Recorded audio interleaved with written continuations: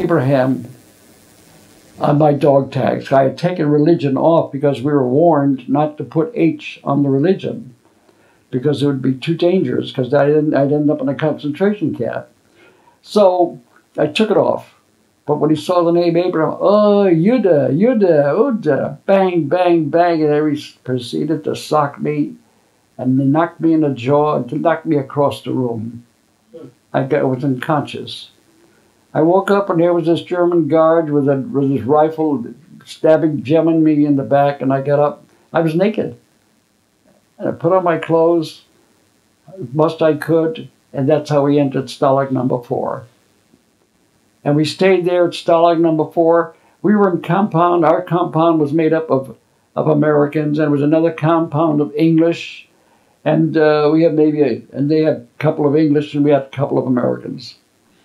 And uh, they were they were they, they were brutal. One, we were walking around the camp one day, and I had and I had somebody who was uh, was he was smoking a cigarette, and uh, from around the corner comes a major with a leather coat and his monocles and his hat. And uh, my friend had a cigarette in his mouth and he saluted this major, German major, with a cigarette in his mouth. And all of a sudden, the major screams out, Come in here! So we stood there, you know, we don't want to screw around with it with a, with a German major. And, he, and then he started to scream at this guy because he had the cigarette in his mouth. He hauled off and knocked him right on the jaw, this friend of mine. And there he was on the ground there. I had a, I had a job waking him up. And it was that, that on and on and on with, uh, with uh, but then the Red Cross came in with a, with a, with some instruments and uh, we didn't have a radio, but we had radio men from the plane and we used to bribe the German guards to, uh, and they put the, knew how to put the radio together and of course, if the Germans saw us finding out what was going on in the world, they would have come in and shot a few of the guys. But we used to have good lookouts. And lookouts used to say, the Krauts are coming, the ferrets are coming, watch out. And then we'd hide the stuff right away. But we knew what was going on in the outside world. And we knew that the war was going to be coming to an end. It's just a matter of surviving because of the food that we ate. And um, I organized a German class for my German school, just the phrases for them to geben Sie bitte, geben Sie mir ein Feuer, or uh, uh, speaking some German language. And I did get about 10 or 20 guys into a, one of the rooms and was teaching them. And then I organized a Connecticut club. I wrote a letter, put it in the latrine there, said anybody from Connecticut want to meet at a certain time. Sure enough, there were about 20, 30, 40 guys showed up and we talked about the what happened here. One gal never forget, forget from West Hartford. Um, he lived on Staples Place. Um, and he, he, a lot of uh, prisoners came in, and um, I see a young kid, and I yelled out, "Anybody from Connecticut?" And this young kid, about 18 years old, says, "Yeah, my name is such and such. I forget his name." Uh, he says, "I'm from Connecticut. I'm from West Hartford." filthy, dirty. when he parachuted out, he'd landed in a in a mud pack or in a water or whatever. And so I took him into the latrine. I helped him take off his clothes, and I washed him down like you wash a kid. And uh, and uh, uh, then we became friendly. But um, okay, now we're in Stalag Four, and. Uh, Come fall, who's coming again? The Russians. They're at our camp. They're coming in. Germans get us out. February, and that article here, in which I have, they, we started out in a blizzard. With, with all that we had and clothing was our coats and our boots and our hat and no other clothing at all. We were on the road for 86 days and slept outdoors. Everybody had pneumonia, diphtheria. We lost a thousand American kids died on the march. That is what what the effort was. There was nothing, nothing we could do. The Germans couldn't help us. So the guys that fell down, the Germans went over conveniently and shot them, killed them, dragged them into the woods, and that was it. Now, um, that was it. in, do you recall the barrack numbers you were in in Stalag was six and number four? Do you remember what barracks you were in? I think I was in barracks number eight, one of the barracks, and number four. Yeah, I think so.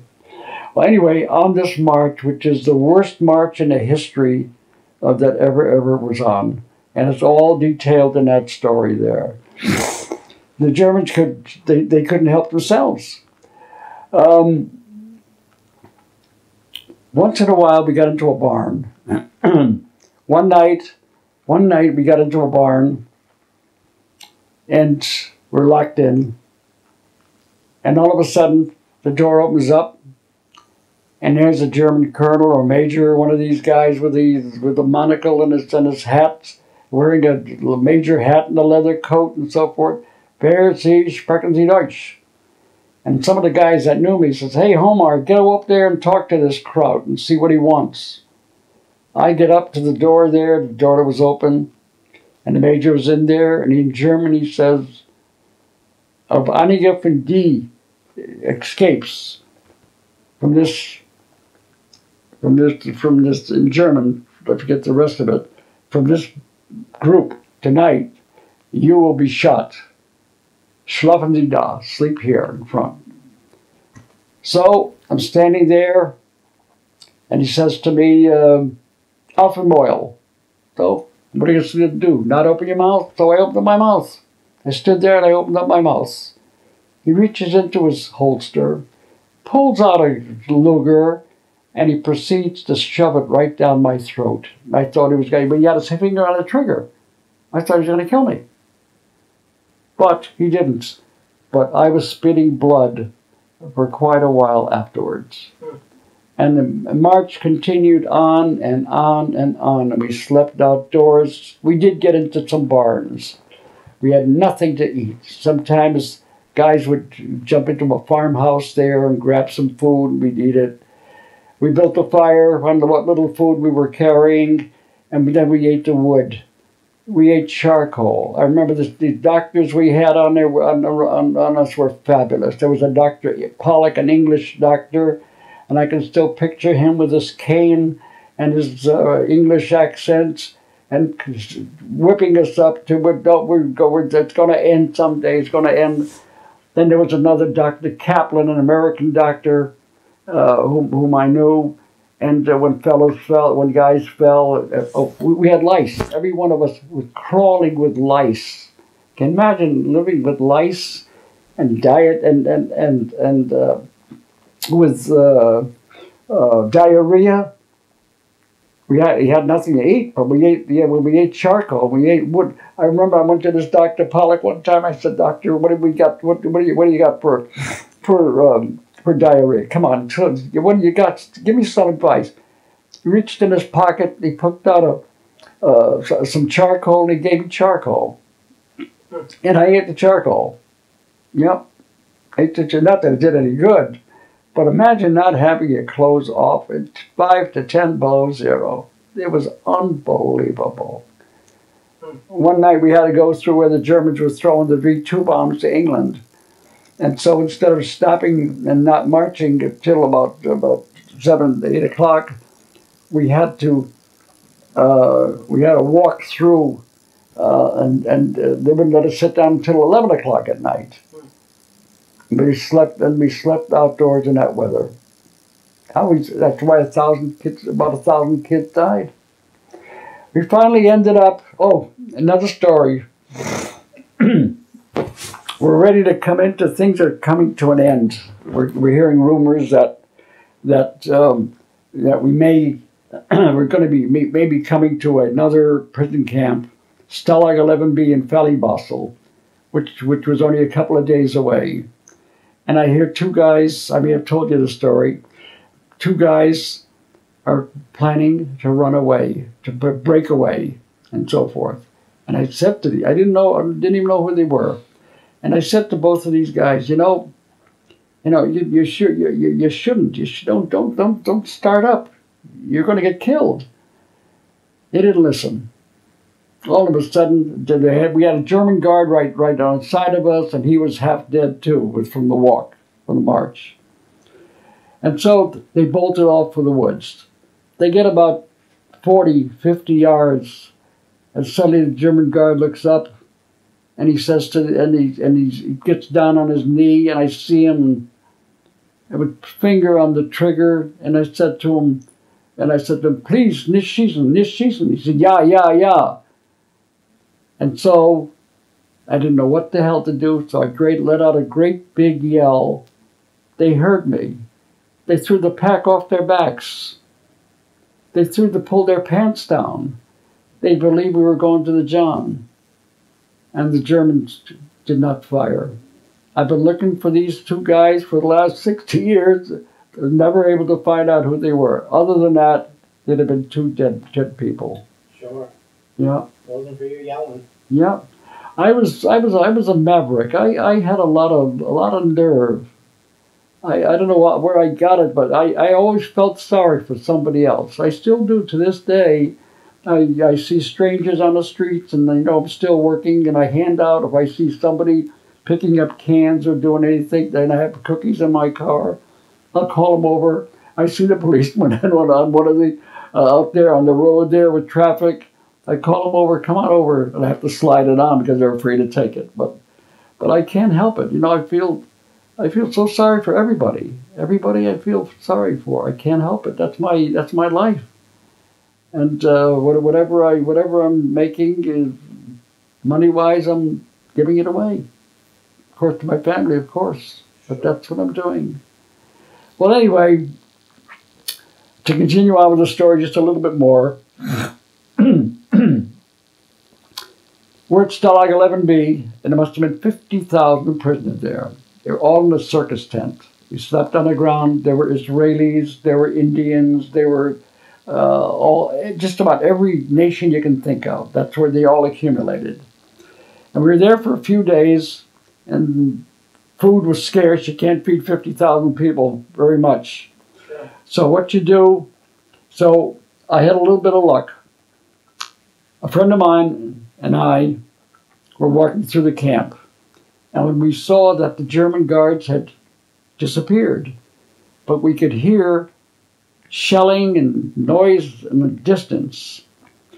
And so in the doors were the gates were unlocked and in the in the uh, in the compound comes a jeep, and in it was a war correspondent from the New York Times named James McDonald, war correspondent, and a British captain, and he stopped by us, and I have the article to prove it, and he and our parents did not know if we were still alive because after three months of not here, we used to be able to when we were in a prison camp, we were able to send a postcard a month, one postcard a month. And all of a sudden, no postcard for three months. So what would you think? And then and in Germany. So I said to this James McDonald, so I stopped him and he stopped, he came over to running, when the Jeep stopped by, I said, Mr. McDonald, he told me to introduce himself. I said, is it possible for you to get word to our parents that we're still alive. He says, I'm going to try like hell. And sure enough, a couple of days later, in the New York Times, there's an article about prison camps being being uh, uh, being covered, being uh, released. and among them was St- Staff Sergeant Abraham S. Homar, 18 Acton Street, Hartford, Connecticut, and Hyman Koffler, Bronx, New York. and uh, the um, put it in the paper, and some family in New York saw my name in the paper. They couldn't believe. They phoned my folks, and that's how they knew that I was still alive. And um, I Koffler's name also. And then we were taken to Brussels, Belgium, and we were deloused. We were we were recaptured by the British, and uh, we were in Brussels for a couple of days where they deloused us about 20, 30, 40 times, and they gave us a British uniform, and we walked into Brussels, and. Um, and it just so happens we went through an area, the red light district, and there were these women up there yelling, Come on up, come on up, we want to see you. We had no money, we had nothing.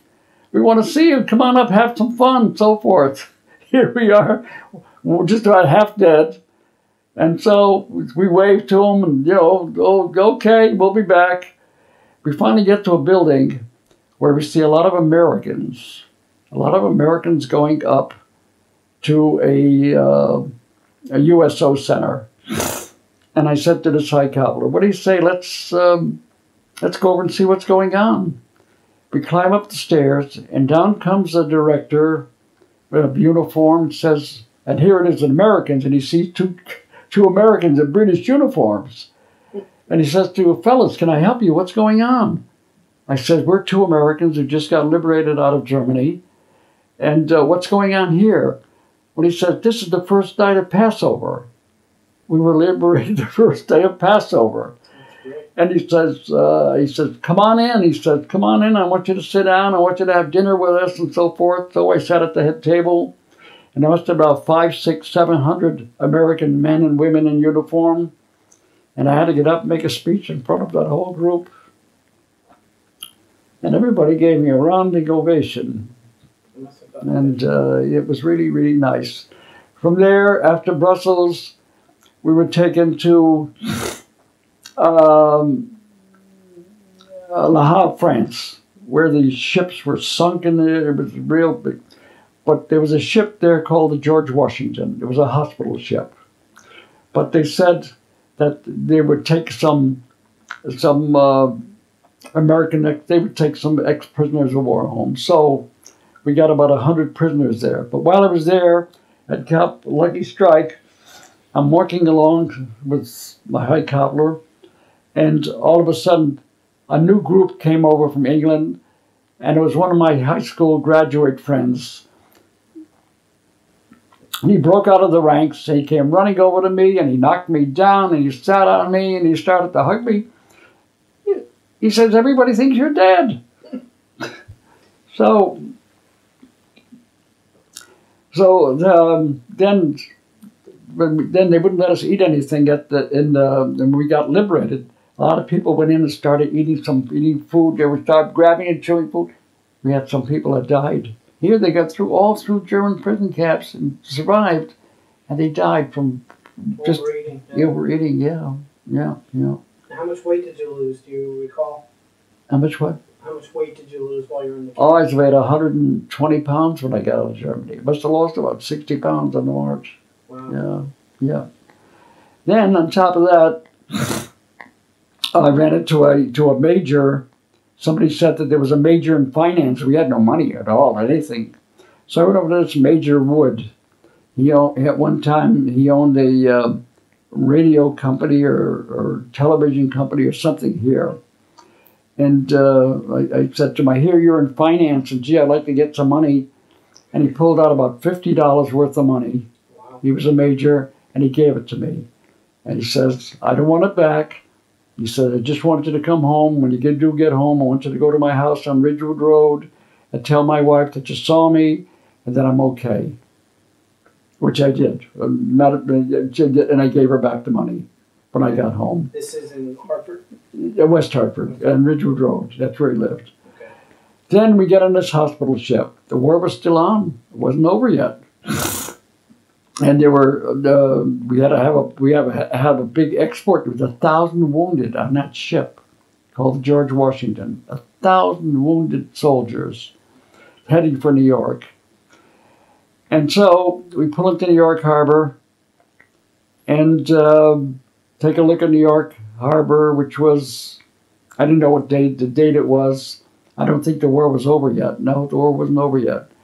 And we look, we're up on deck, about a hundred of us. There was a couple of friends of mine on the ship was a fellow named Red O'Brien who had graduated high school with me. And I said to him, Red, he come over to me, and he said to me, look, he says, nobody's allowed to, he, was in charge of the mess hall. He was, what I don't know what you call it, kind of a, of a, a, a, a steward or something.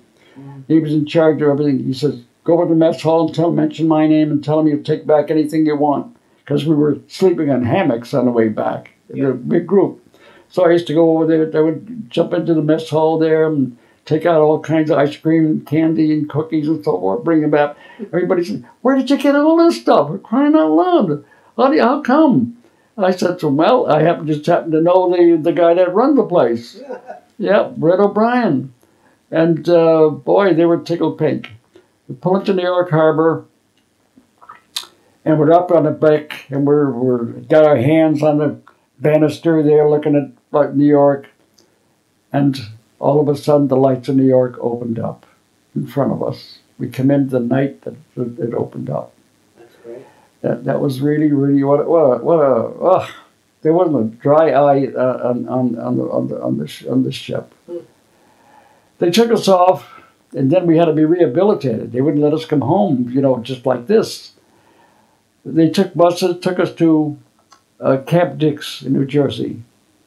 And Camp Dix in New Jersey, we uh, we were uh, given lectures for almost a week and fed and so forth to try to clean us up to, to, to go home for R and R.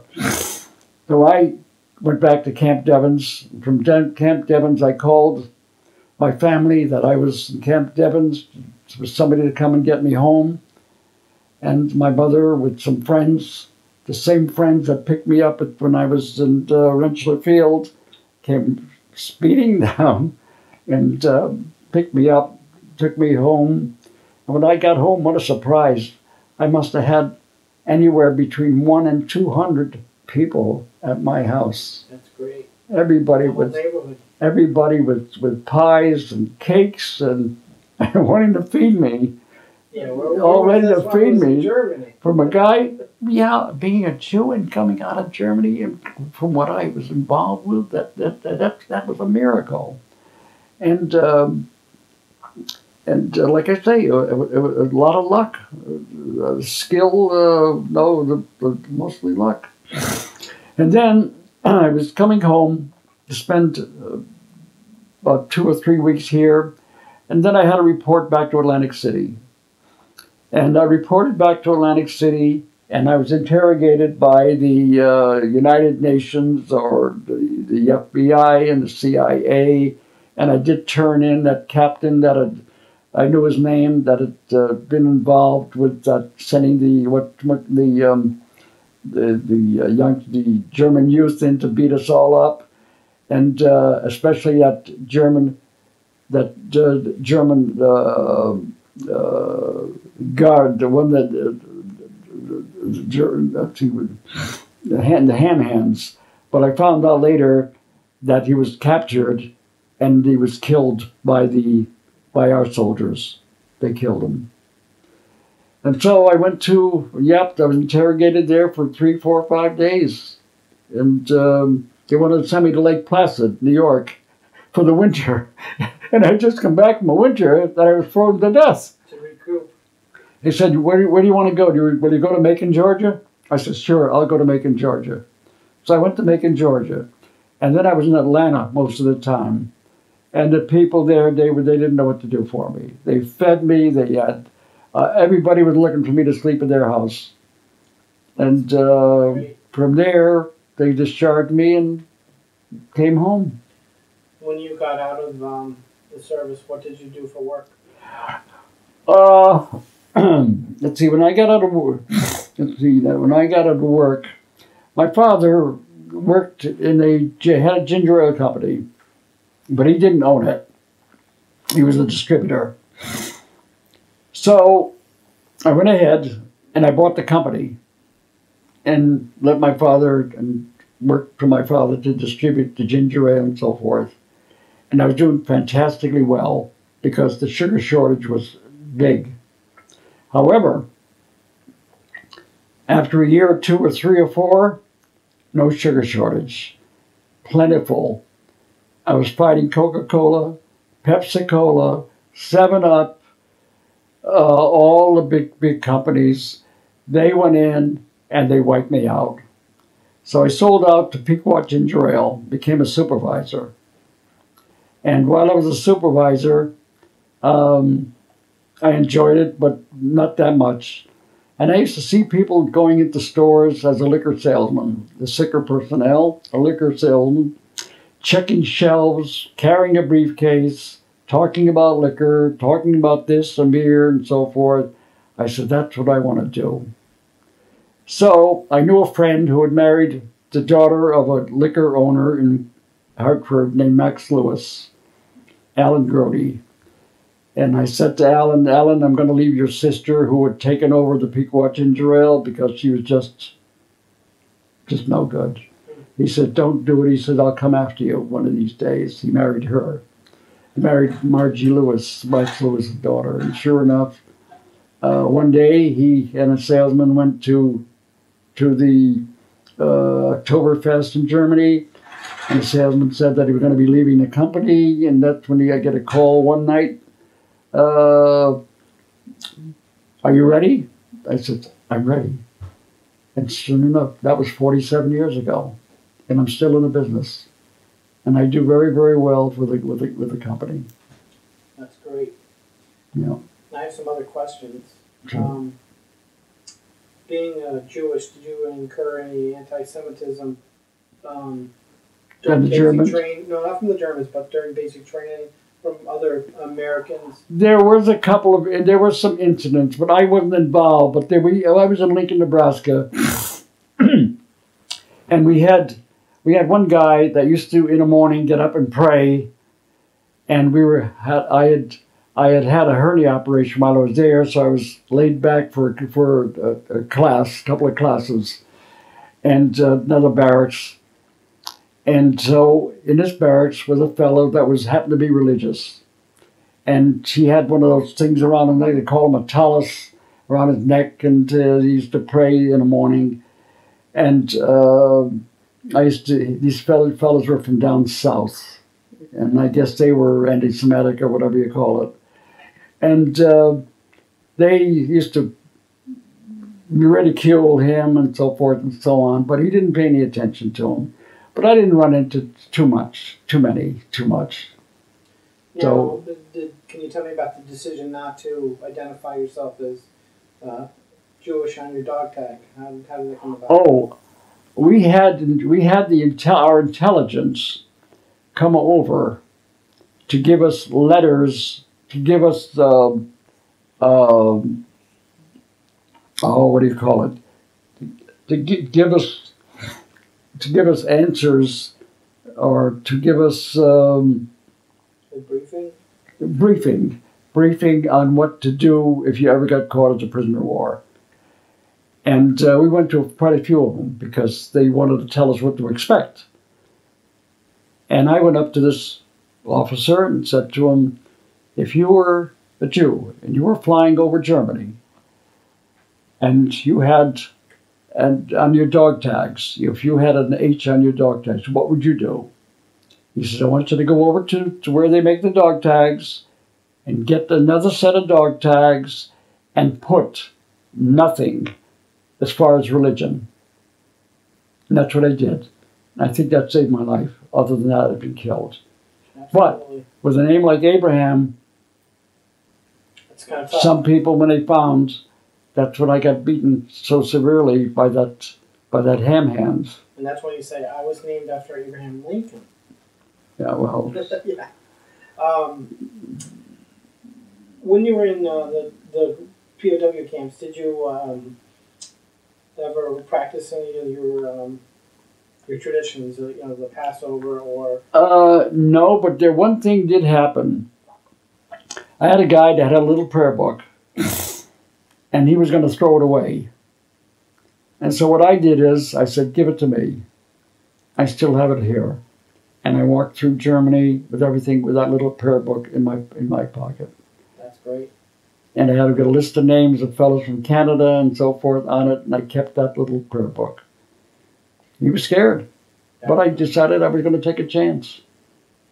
Did you um, You know, you- you had mentioned that you had got together with um, fellow guys from Connecticut and uh, so forth, but did you ever, um, I know you, did you ever get together with our fellow, fellow Jewish soldiers or airmen when you were in the camps? Did you have that opportunity or no? Oh, sure, sure. There were there were there were a number of other Jewish uh, in in in, uh, in the prison camp. Oh, sure. Okay. Yeah, yeah, I know of a whole bunch of them. Yeah, yeah, yeah. Not that many, not that great, but of course there were thousands.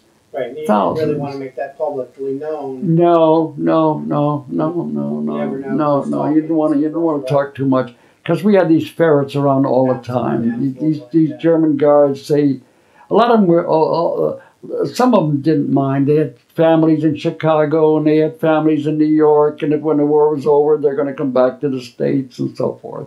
But then you had some other rough ones, and the- the guards especially were that were shooting all these guys. It was it was terrible.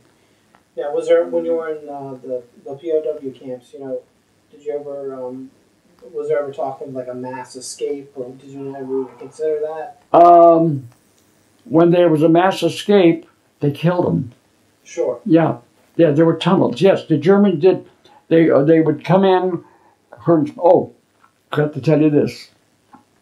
In the winter, all of a sudden, in the middle of the night, the door would open.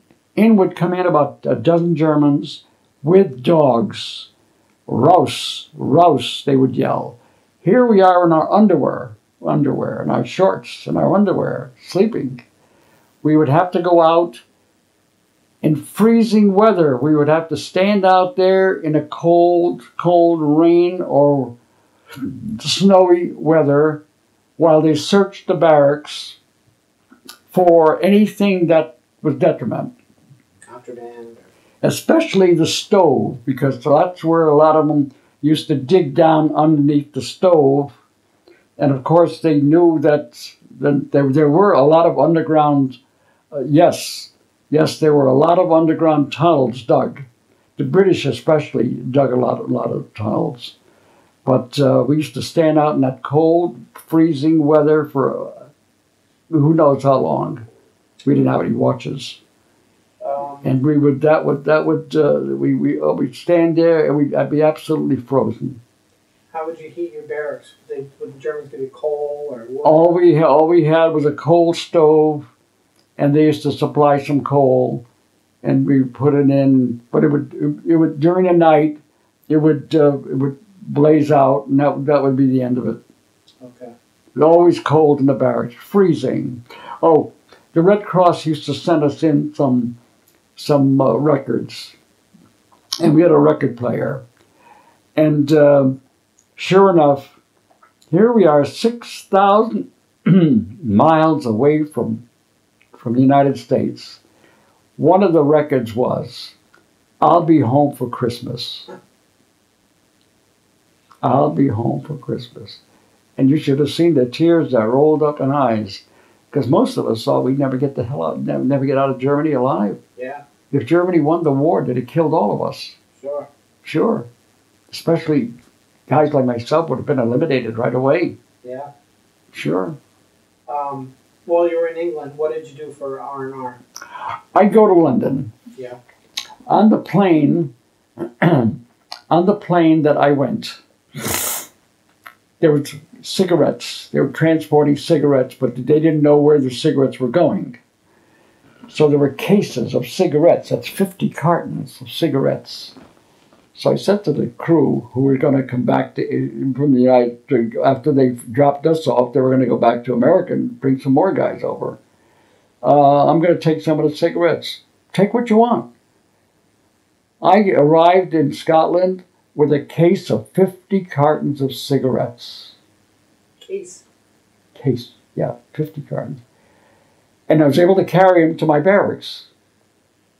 And would you believe I was giving, every time I went to London, I used to put in 10, 20 packs of cigarettes, 30 packs of cigarettes, and I'd go and have dinner somewhere and so forth, and I see these people, they're, they're, they, they couldn't afford to smoke them in England. I used to pass out cigarettes. I could have sold them for maybe five pounds, 20, 10, 10 15 dollars. I never sold a pack.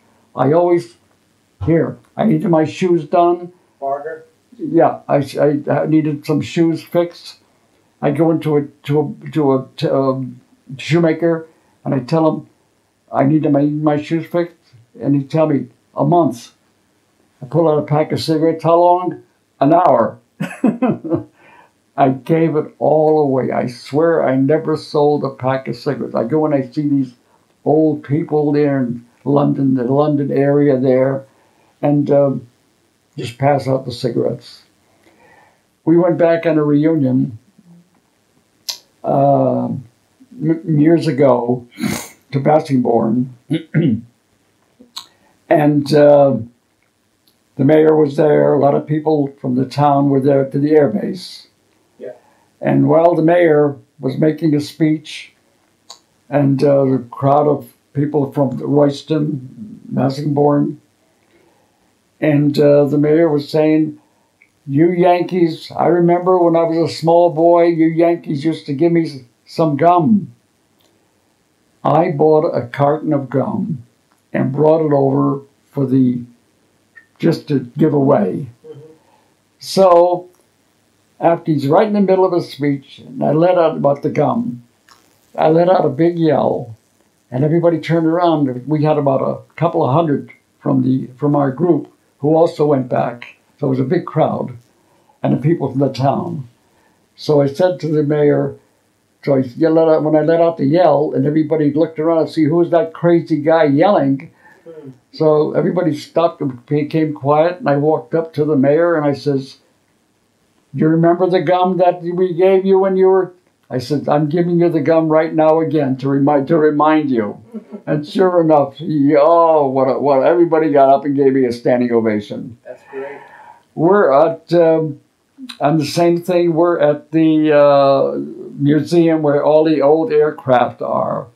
You know, a, a flying field that England put in. They had a flying fortress in there too. Yeah. And so I took my wife in, and most of the guys around the bus also went in also. So everybody left, and I lingered along. Uh, you know, the, myself, like I was on the plane there, looking at where I was and so forth. And um, all of a sudden, the door opens up. In walks about a hundred young kids, 10, 12, 13 years old. And they were coming to visit the museum of old aircraft. Sure. And so I had a big badge on me saying uh, American uh, Air Force uh, uh, reunion to England. And a couple of teachers saw my badge. Sir, and meanwhile, the crowd that was in with me from the bus had left, and my wife included. So I was the only one at the bus left. Mhm. And so, I, uh, when they came over, and he said to me, Sir, the children are on a field trip and they would love to take a picture with you. So I said, Okay. I knew that I had to get back to the bus, but I figured, ah, oh, what am I going to do? And so each teacher brought its class up, and they all had their little little cameras, and they all took a picture of the American hero with all the young kids so they could show it. And it took about a half an hour, an hour.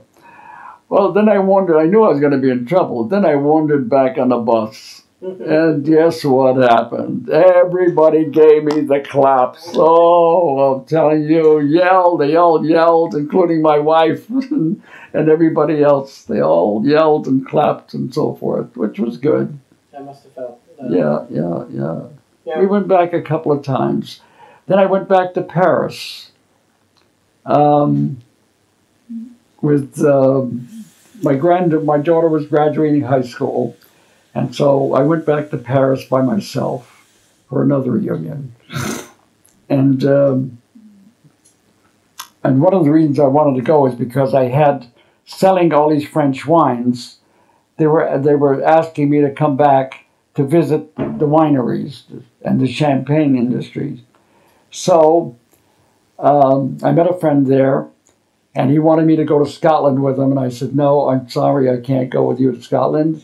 I got to go down to to the champagne uh, in, to where the champagnes are made, and uh, uh, outside of London, about 100, 200 miles, Reims they call it, Reims. That's where Eisenhower That's where Eisenhower um, uh, declaration the war was over. And so I get off the plane, I get off the train, and uh, I'm met by Prince Rene, Prince, um, oh, I forget the Prince, uh, Prince Poligny, Poligny, and uh, put me in his big car, took me to a high-rise apartment house, and uh, that overlooked the uh, where Joan of Arc, where Joan of Arc was ordained and so forth. Yeah. And I'm up there in the waiting room, and I'm looking around, and I see people, a lot, a lot of activity going on. Geez. And so I said to myself, "Jesus, some some important person. They're waiting for some important person." And uh, I see a whole load of people come in. Then they go into a dining room. Then then he come out, came out and got me and sat me down. I was the important person that was being honored by Prince Poligny of the uh, of the of the of the champagne company. I guess they sold the champagne. I had to get up and make a big speech about France and all. Big great. standing ovation.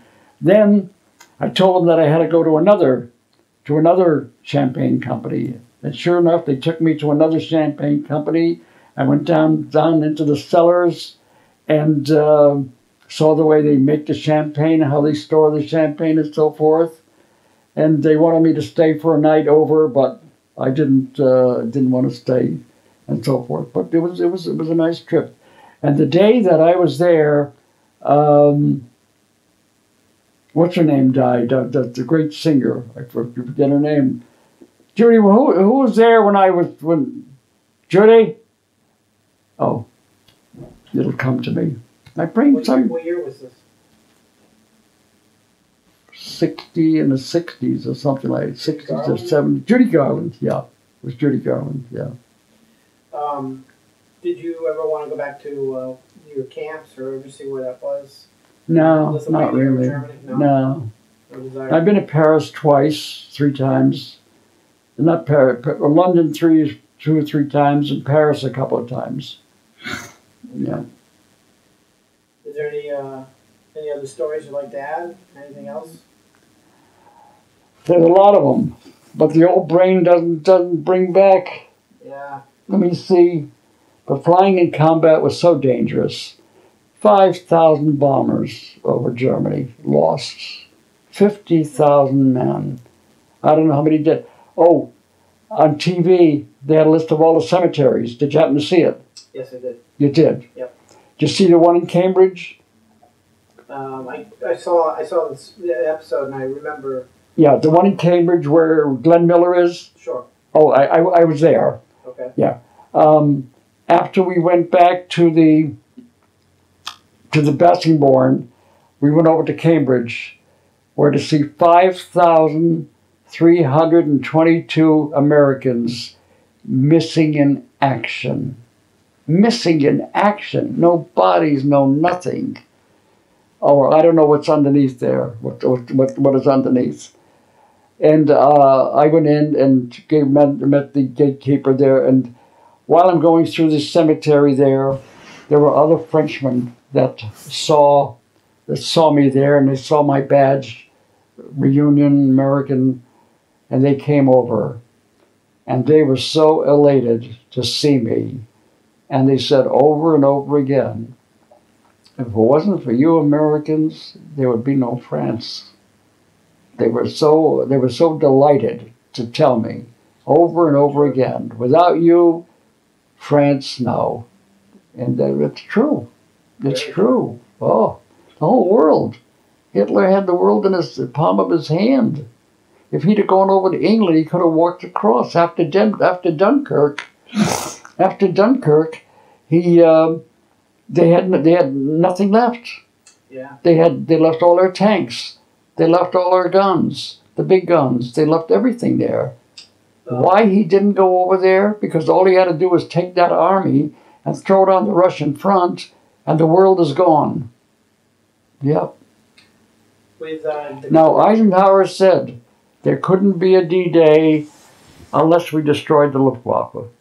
And in the week of February the 22nd, February 18th to the 23rd, The weather was supposed to be a perfect weather for bombing. And and that this is the week that we had to knock out the Luftwaffe. And we did. When D-Day showed up, only one plane showed up on the beach, made a pass, and went away. Other than that, other than that, they'd had thousands of planes up. They'd have killed every instead of nine thousand, they'd have killed a hundred thousand. They'd have killed everybody. They'd have sunk every ship in the harbor. Yeah. They, they, they couldn't help it. Um, of the when your plane went down, of the crewmen, uh, how many survived and how many perished? Okay, all right. The four, um, the pilot was killed in the plane. Navigator was also killed. The bombardier was killed. I got a letter from my from my co-pilot, who said that when he was ready to go out of the plane, he looked back, and Frank Colts, the pilot, 22 years old, was also behind him. And when he went out, he thought Frank was behind him. He wrote me a letter to this effect that Frank was behind him. But the plane went into centrifugal force and he was pinned in the plane. So the G force couldn't couldn't have gotten out. Couldn't get out. Yeah. Once the plane goes down spin, you're you're pinned. When your pl- when your plane was hit and you were and you just made the decision to uh, bail out, where was the plane descending or was it uh, flying steady? Um, Yeah, oh yeah, we were flying steady, sure. Yeah. Oh yeah, we were leading that group.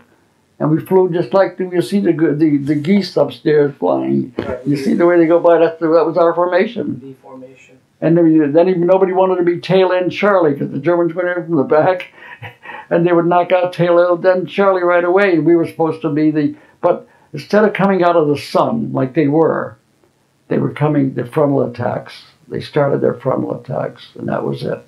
They figured if they knocked out the lead plane, that they would knock knock the whole formation out. Can you uh, tell me again your your the, the name of your bombing group and your squadron and 91st Bomb Group, 323rd Bomb Squadron. You recall your There was 320, 323rd, 3, 322nd, 323rd, 324th, and then the 401st. Four squadrons equals one group, 48 bombers. do you recall um, your day of discharge? What day you were discharged? Uh, the day I was discharged, I think I got a copy right here. Oh, it had to be August. Now, when you uh, were liberated from um, the camp, I was liberated February, I was liberated April 18th of 1945. when you were um, I was shot down February 22nd, 14 months of hell. when you got wind of um, when you got back from Germany in back you know back to the United States and the war was still going on with Japan. Did was there any um, chance that you might have been sent overseas again, or were you done? No, no, no, no. We, they, they knew that we had enough. Right. We were physically and mentally, we were not, we were, they, they knew how we were tortured. They knew it. Now, how were you? Um, because you were still in the army. How were you paid for all your time when you were in the POW Oh. camp? In the pretty, oh, we, uh, nothing. We weren't paid anything except our, uh, we were getting uh, base pay, which was $80 a month, and hazardous pay. If you were in hazardous, another uh, 30 $40. I think another $30, $40 a month for, for combat pay. $120, $110, something like that. And out of that, we elected to send home, send home um, some money if we wanted to do that. So everybody sent home s- like $35, $40 a, a, a month to, to their Were families. you actually physically paid in England and given cash and? Yeah, we were paid in England by the uh, the regular pay, and the, the, the thirty-five or forty dollars was mailed to the parents. Now, um, when you were, obviously you weren't getting paid when you were uh, in captivity. What, how uh, did you retrieve that money when you got out? How did that, did you get paid when you, before you shipped out to the United States? Or when you got back to the United States, did they give you all that back? pay? Um, let me see the back pay. You know, I don't even remember what the back pay. Because that must have been a nice big chunk of money. The fourteen, it may have been a couple of thousand dollars. Yeah. Yeah. Yeah, it's because eighty dollars doesn't amount to a hell of a lot. No, but it adds up. Yeah, I know. Fourteen months. Yeah. Okay. Well, I think uh, I think uh, if I, you want to add anything, um, Yeah. I tell you, you know, between the death march and the parachuting out and it's quite a story. badly wounded and uh, a lot of things, and I and I I stuck my neck out a lot, a lot of times. I could have been killed. That that that guard, when I, if I hadn't shouted for those two guys, the guard could have turned around and put a bullet in me. Sure. and then and and and uh, and and being in an airplane at thirty thousand feet, if the parachute didn't open up, here here I'm going down with a collapsed parachute. Here I'm here, here I'm in a jail for five days, where the, the blood had caked up. Could have died from blood poisoning. Sure. I wanted to ask you, um, did did uh, the crew, did you yourself or the rest of the crew, did you guys have reserve parachutes or just one parachute? No, just one parachute. Okay. Okay, let me tell you as of now who's alive and who's not gone. The pilot was killed, navigator was killed, the bombardier was killed. The co pilot survived. He's been through three wars, and I'll tell you about him. Okay, just let, let, let him go for a minute. Sure. Since then, uh, my other flight engineer passed away. My radio man, who I helped to save, I could have I could have asked for a medal on that there, but I never even I never even bothered. And uh, the two gun the tail gunner and um, uh, Walter. both both turret gunner all passed away. That left my co-pilot. He went on three wars. World War II. Uh, then he went on to uh, become a pilot in the uh, f- food that went into Berlin, the Berlin airlift. Yep. the Berliner. Then he went into Korea. Yeah. Fought in Korea, and then he fought in Vietnam. Wow. A couple of weeks ago, I get a call. Well, we visited him in Florida years ago. Just got a call that he passed away two weeks ago. It leaves me. Oh, there's a picture of the crew. You're, you're the only survivor, correct? I'm the only survivor left out of my crew. Yeah. What, what, well, let's uh, backtrack to your radio man. Did you find it? Well, to all your crew. He passed away a few months ago. Did um, were they all at the same POW camp? Did you ever run into any of them? Um, no, the officers were sent to Stalag Luft number three, the officers' camp. The others were sent to Stalag six and four. But I never saw them. I never, I never ran into them there, because there was another prison camp called 17B down south, in Germany. So, but they may have been in the camps, may have been in another, another. There were different stalags. Okay. You know. Now, um, your radio man. Did you ever hear how bad his injuries were? Yeah, yes, he survived. He, he he was from New Jersey. He um, um, he went on to become a CPA, a CPA, and uh, here best best here here they are. Here, take a look at this. And he passed away just about a few months ago. Yeah, if you want that copy, you can keep that copy also. Because when I get onto my when I get onto the company that I work for, I usually make up some extra copies.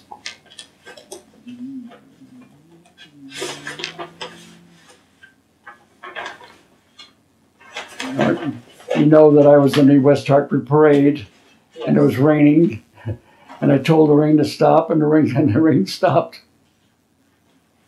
I just want to look at something. And I want you to hold it up, and I want you to tell me the names of your crew.